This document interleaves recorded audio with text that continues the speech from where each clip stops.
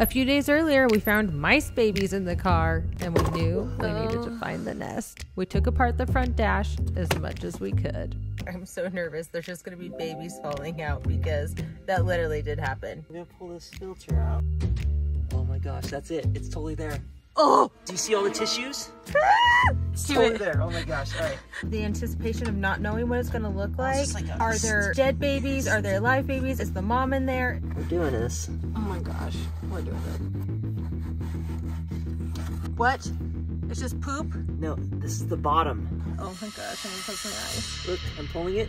I can't even watch. This is really grossed out. Is that a french fry? No, no, it's like seed things. Oh.